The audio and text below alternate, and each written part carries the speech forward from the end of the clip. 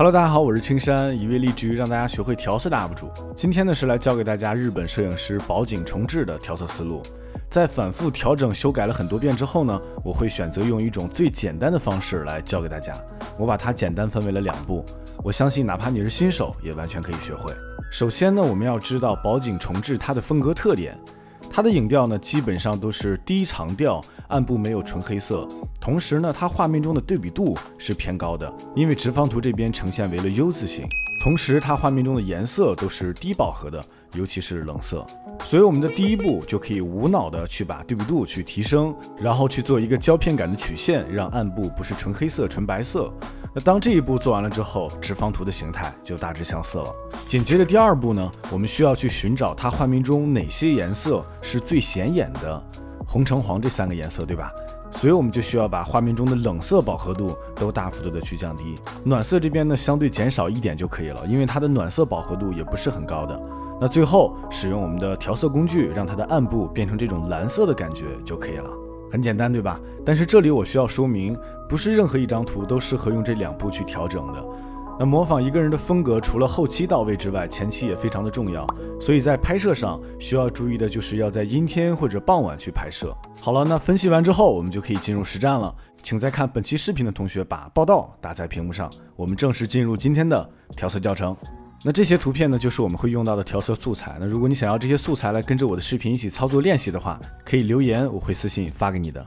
我们会用到这个第一张图去举例子，但是严格来讲，其实这两张图片是最适合模仿宝井重治这种风格的，因为这两张图前期就已经非常像他那种感觉了。但是因为它们的颜色偏少，操作起来就非常容易，所以说我选择用第一张这张颜色比较多的来为大家举例。这样，等我们操作完之后，把这张参数复制过去到其他图片上都是适用的。那我们就直接来到我们的第一步，这边呢就可以直接去把这个对比度，我们无脑的给它提升，提升到一个三十左右，让它画面这个明暗对比更加强烈一些。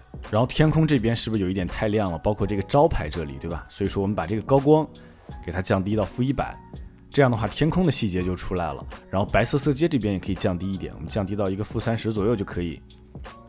高对比不代表它的暗部你就让它黑的看不着细节了啊，所以说我们这边还是需要去提升一些阴影，让它暗部的细节显现出来一些的，我们给到一个五十就可以了。然后像黑色色阶这边可以压低一点点，这样的话我们的照片会看起来更加的通透。那我们讲过宝景重置它这个风格是低饱和的，对吧？所以说像这个鲜艳度这边我们先略微给它降低一些，降低到一个负十九。那其实正常来讲，操作完这一步呀，我们就需要来到曲线这边了，对吧？但是我选择把曲线这一步呢放到最后去给大家做，这样的话大家更能理解曲线这一步的一个重要性。那我们接着就可以去调整它的这个 HSL 了。在调整这个色相饱和度之前，我们先来到校准这边，把它画面中的这些颜色呢简单的去给它统一一下，右右左的一个调整，对吧？我们把这个红原色向右，然后这个绿原色同样的也是向右，蓝原色给它向左。这个蓝原色向左的话，就是你不需要给很多，因为你看我们一旦给的多了，画面就变成这种青橙色了，对吧？所以我们只需要给它到一个负十就可以。然后经过我们前面的分析，它画面中这些冷色的饱和度都是偏低的，所以说我们把这个绿色的饱和度给它降低一点，然后把这个蓝原色的饱和度也去降低一些。像这个红原色的饱和度的话，我们可以给高一点。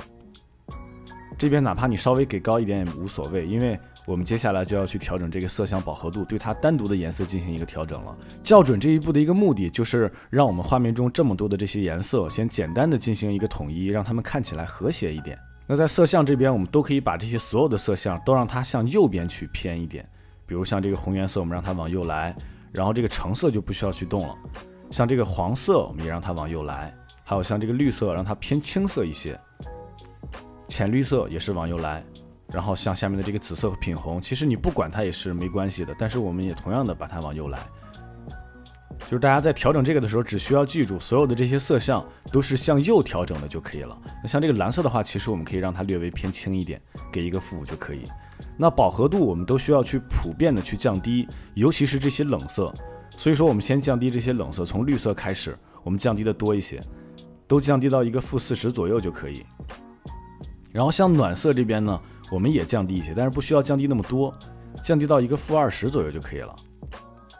OK，这就是饱和度这一步的一个变化。现在我们这个画面看起来就干净多了，对吧？我们给大家对比看一下，这是原来的一个效果，这是我们现在调整完之后，它高光阴影的这些细节呢都出来了更多了，同时画面中这些颜色看着也更加舒服了。那接着我们来调整这个明亮度，我们去把这个黄色的明亮度给它增加一点，让它这个招牌看起来更亮一些。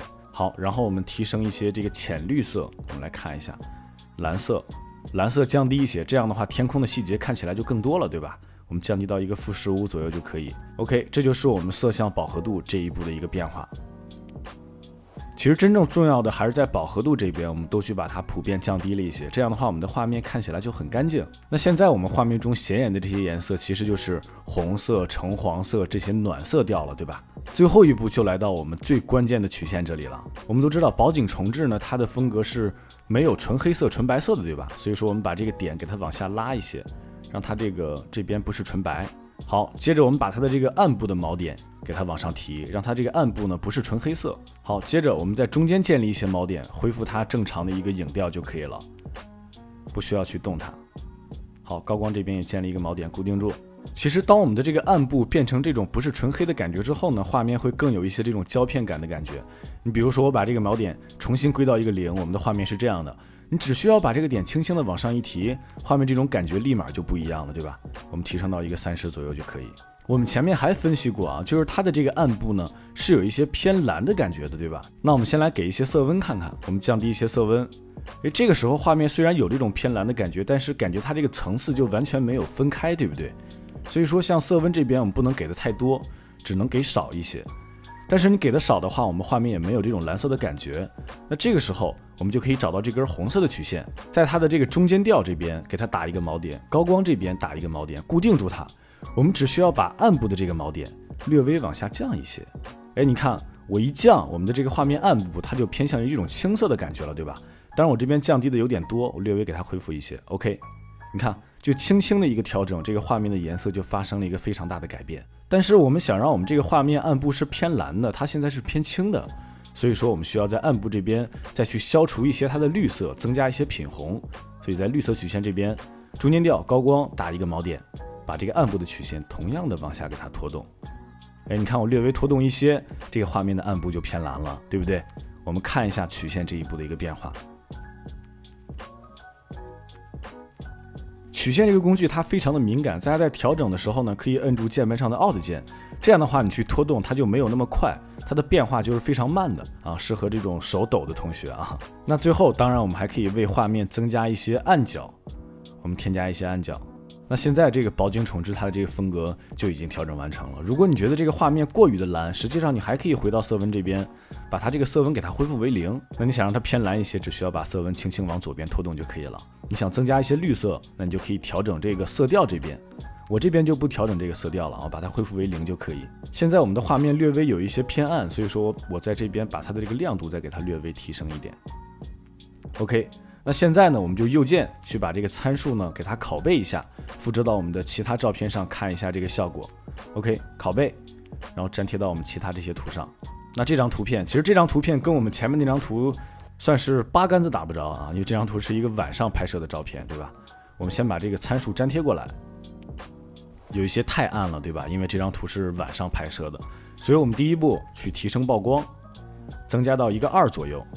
那像对比度这边，我们还可以接着去提升，因为我现在我觉得这个画面有一点灰啊，我们给到一个六十，然后画面没有那种蓝色的感觉了，对吧？所以说我们把这个色温让它往左边来的多一点，然后色调也往左边来一些，让它有这种青蓝色的感觉。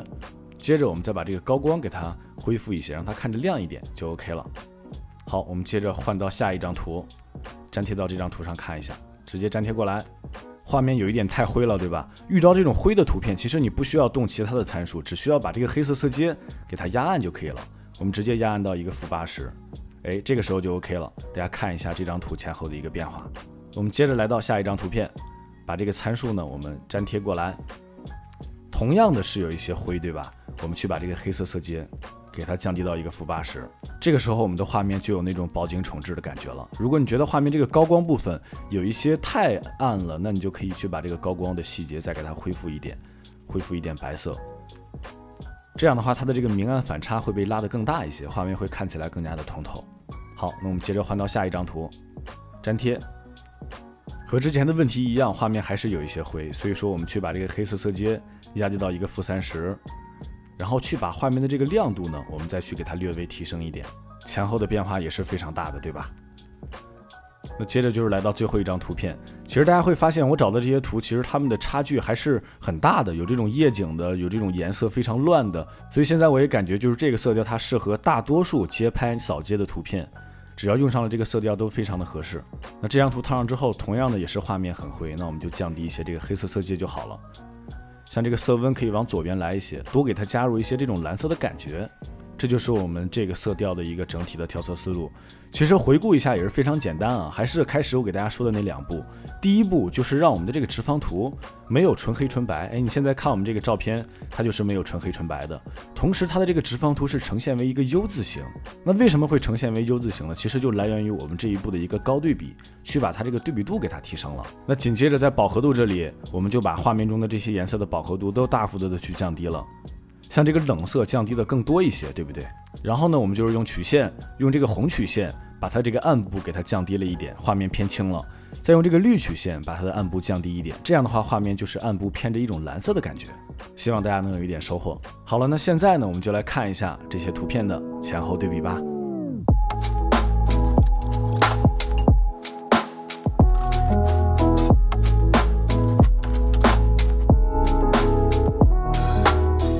那我们本期视频呢到这里就要结束了。如果本期视频让你有一点收获的话，你可以给我一个三连加关注，你的支持才是我不断输出干货的动力。